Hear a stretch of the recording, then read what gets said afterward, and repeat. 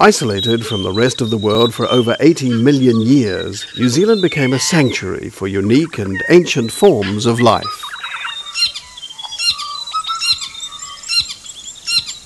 In the few hundred years since humans arrived, that changed forever.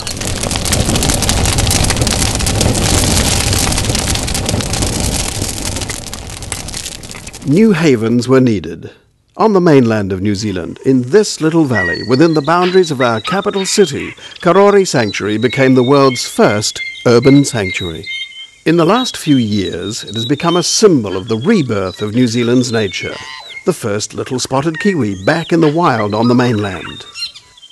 Tuatara, Saddleback, Giant Weta, and many others. Now, Karori Sanctuary is reinventing itself with a superb new all-weather visitor experience. Two floors of interactive and immersive exhibitions will tell the amazing story of our natural history.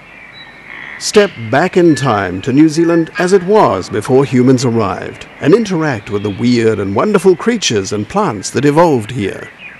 Witness the accidental catastrophe of human arrival as the whole exhibition space transforms into an immersive cinematic experience.